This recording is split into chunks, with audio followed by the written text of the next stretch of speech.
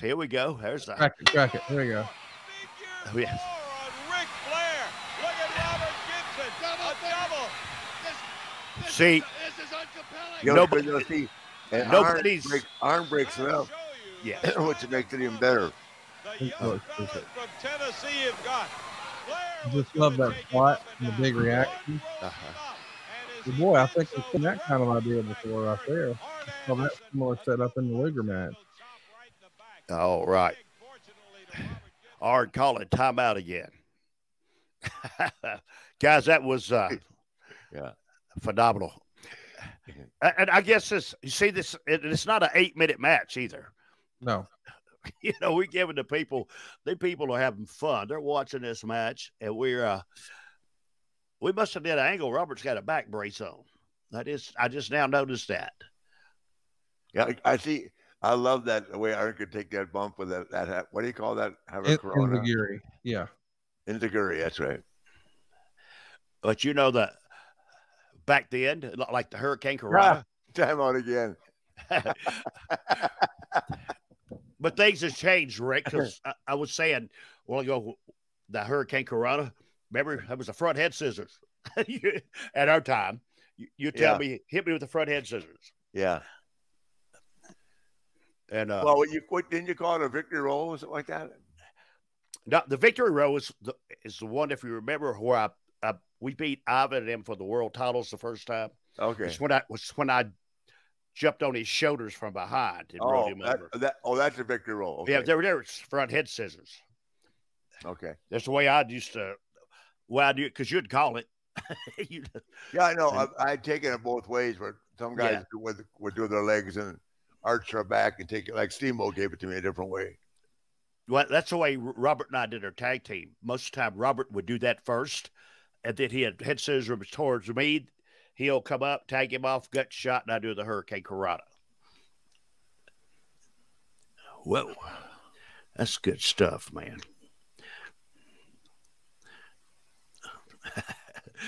So fun to go back and see, you know, how, just how wrestling has evolved. I mean, it was so fun watching 87. Here we are three years later, and you can tell it's lit a little different. The ring's a little different. Hebner's no longer here. Now Nick Patrick is. How was Nick Patrick as a referee, Rick? Oh, real good. Real Nick good. worked too. See, Nick worked before he refereed. Yeah. He understood the business. Mhm. You know, he was. Uh, A- a really nice guy too.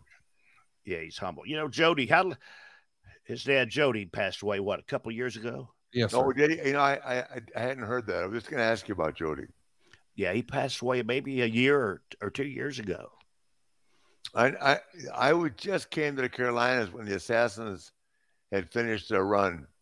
Uh, it was Jody and um, I Uh, can't think of the guy's name.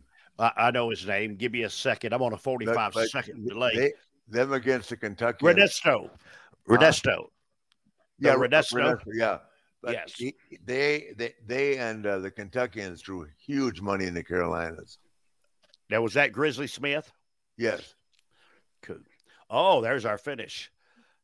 Kick out on one. No, I'm just kidding. And I'm still laying there. you damn right. I'm just messing with you, buddy. He pulled a Harley Race on me. No, I just, gosh,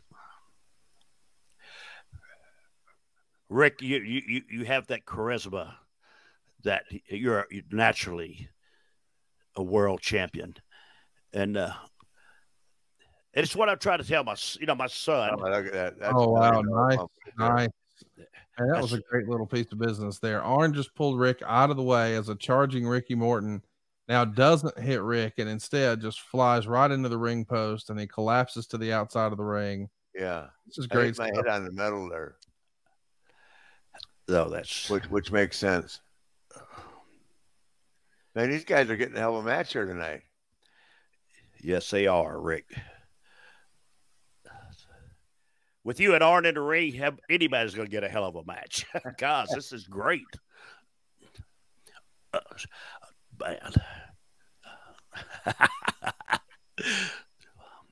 so fun to go back and watch this. You can tell how much fun you guys are having. And And what a Hall of Fame crew here. Arn Anderson, Ric Flair, and the Rock and Roll Express. I know it's WCW, but boy, it sure does feel like Jim Crockett Promotions. And fans in Texas are absolutely loving it. And, and when you see something like this, Conrad, we're all having fun because we're having one hell of a match here. Uh, you, can feel it. Your drilling's going and you and you and you want to give it that extra little boost. You always do. I'm, I'm watching the little things that, that Arn and, and Ricky are doing. And say, no, this is called in the ring. This is not called in the back.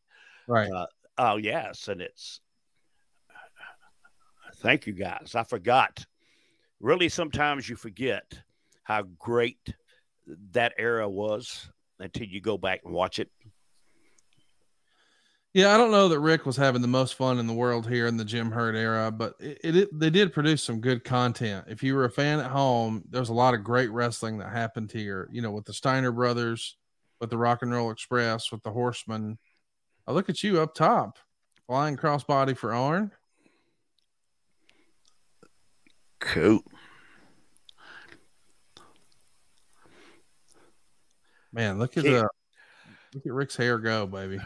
I know. Yeah, what it's you see, they keep it. I'm selling, but they're keeping me alive. That's what heels don't know how to do anymore. How to keep the baby face alive. Well, hell, you can't find a baby face to sell anymore. But, but this is uh, why the people are standing on their feet. Rick, I used to love to work with Arn too. Uh, him and Tully. You know, Oh, we yeah, God, they they were great. yeah, you know, we, I know we did a lot of history with the Midnight Express, and we, uh, you know, the Expresses versus Expresses. But like like I was saying, when you go into a route with another tag team, Oh, look at that! Look at that! That's a million dollar move right there. you can't Yes. cheat that. And now everybody's ready for these tags. Can Ricky get to his corner before Arn can get to his? uh, Man, look at look at the side of your face, Rick. You really did get busted open pretty good Yeah. there. are you talking to me? No, I'm just No, man. saying, it looks I- like Rick on the on the I- left side I- of his face. He's I- pretty. He's bleeding I pretty good. hit myself on that turnbuckle when you when you took the corner. Oh, really? Okay, I'm. s- Yeah, it We'll was, a, it was a fantastic bump that went unnoticed by you. There you go. yes. Whoa! Wabbo! Getting even. Don't hulk up on me yet. No, no, you're you're telling me start to stand up. I'm, I'm not. I'm not doing nothing you don't tell me to do. You you hear me? You're, that's when you're telling me stand up. There's those little teeny boppers. Yeah. Whoa. yeah, I think they're getting wide shots because of the blood. Now look at this right here, man. This is so good. Oh, there it Whoa, God. That's got to be boot. shotgun, and that ought to do it. Oh, and you the off, Rick. Look at you, you damn cheater.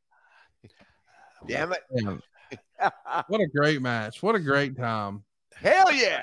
You know, some of the guys that's out here watching on your podcast, uh, if you are workers in our business, you need to go back and get you a pencil pad